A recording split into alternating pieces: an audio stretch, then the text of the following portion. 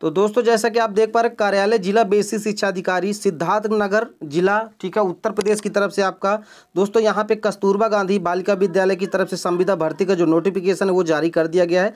यहाँ पे आप देख पा रहे महानिदेशक, स्कूल शिक्षा एवं राज्य परियोजना निदेशक समग्र शिक्षा राज्य परियोजना, कार्यालय लखनऊ, ठीक है?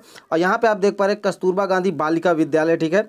चलिए, सीधा बात करेंगे यहाँ पे। देखिए, लखनऊ दिनांक एक फरवरी 2023 के क्रम में जनपद सिद्धार्थनगर में तेरह संचालित कस्तूरबा गांधी आवासीय बालिका विद्यालयों में कक्षा छः से आठ हेतु, ठीक है?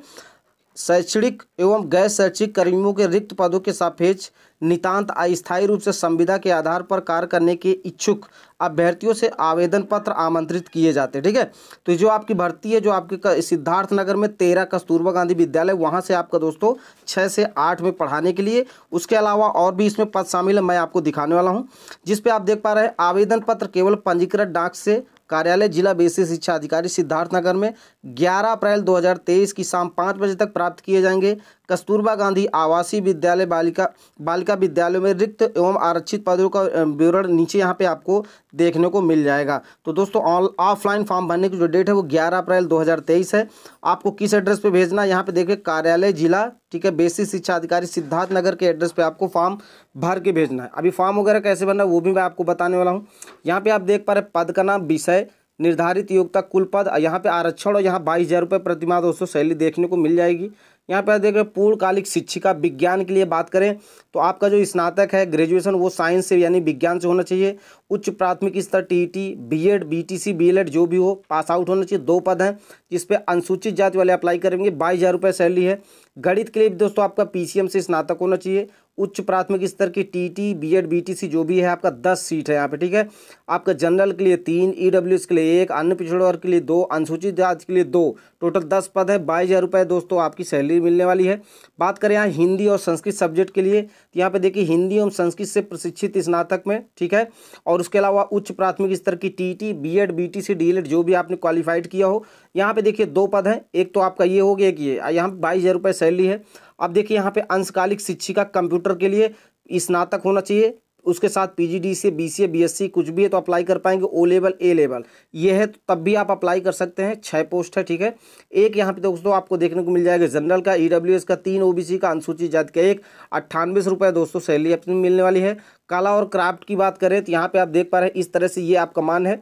बीएड समका चैल्टी प्रशिक्षण, ठीक है? और आपका ग्रेजुएशन जो है वो आपका कला, क्राफ्ट एवं संगीत से होना चाहिए। नौ पोस्ट है यहाँ पे टोटल, ठीक है? दो आपका दोस्तों जनरल ई का एक यहाँ पे देखो अन्य पिछड़ों का तीन, अनुसूचित जाति का तीन। अट्ठानवे रुपये सैलरी मिलेगी। शिक्षिका उर्दू की बात करें, स्नातक में आपको उर्दू होना चाहिए। बीएड या बीटीसी जो भी आपका कंप्लीट एक इनमें से एक कोई एक होना चाहिए। समकक्ष डिग्री आपकी होनी चाहिए, दो पद है। यहाँ पे देखने को मिल जाएगा, अन्य पिछोड़ का एक पद है और अनुसूचित जाति का एक पद है, तेरह हज़ार दो सौ रुपये सैलरी है। मुख्य रसोइया के लिए कक्षा आठ पास चाहिए, एक पद है। छः हज़ार नौ सौ रुपये सैलरी है। सहायक रसोइया के लिए कक्षा आठ पास चाहिए, चार पद हैं। दो जनरल का है, एक आपका ई डब्ल्यू से एक आपका जो है अन्य पिछड़ वर्ग है पाँच हज़ार एक सौ पचहत्तर रुपये दोस्तों सैलरी आपको मिलने वाली है। यहाँ नीचे देख रहे उक्त पद हेतु चयन हेतु आर्ता विस्तृत निर्देश एवं आवेदन पत्र का प्रारूप जनपद सिद्धार्थनगर की वेबसाइट यहाँ पे देखने को मिल जाएगी। Siddharthnagar dot nic dot in पर उपलब्ध है। कार्यालय के नोटिस बोर्ड पर भी ये चस्पा है। तो यहाँ पर दोस्तों जिसका ऑफलाइन फॉर्म है वो आपको कहाँ मिलेगा? इस वेबसाइट पे मिल जाएगा। फुल नोटिफिकेशन भी इसी वेबसाइट पे मिल जाएगा। तो आपको कुछ भी नहीं करना, मैं थोड़ा सा बता देता हूँ, फॉर्म आपको कैसे भरना है। ये भर्ती आपकी पूरी तरह से दोस्तों मेरिट बेस पे, कोई भी एग्ज़ाम नहीं होगा। अगर अब इसका प्रूफ देखना चाहते हैं तो कुछ और अदर ज़िले की जो भर्ती जारी हुई थी, कस्तूरबा गांधी विद्यालय, वहाँ पर पूरा मैंसन करके भी बताया गया, लेकिन इसमें इन्होंने शॉर्ट नोटिफिकेशन दिए दिया है। लेकिन मैं आपको बता दूँ कि यहाँ पर जो भर्ती, वो आपकी जो है मेरिट बेस पर होने वाली, ठीक है? तो सबसे पहले आपको क्या करना है? प्रोफार्मा डाउनलोड करना है, उसको पूरा कंप्लीटली भर लेना है।